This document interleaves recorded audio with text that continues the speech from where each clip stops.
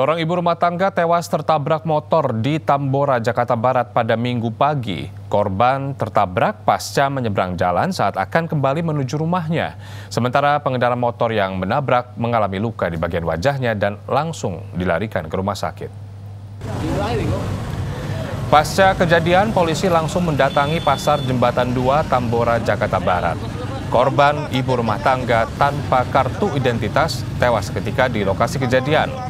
Korban tertabrak saat menyeberang jalan dari pasar Jembatan 2 menuju rumahnya. Pada saat bersamaan, melaju motor dengan kecepatan tinggi dari lampu merah Jembatan 2 menuju Pesing.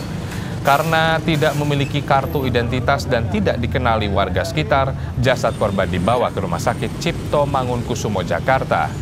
Hendawan Wikongko melaporkan pengendara motor yang mengalami luka parah di bagian wajahnya juga dibawa ke rumah sakit.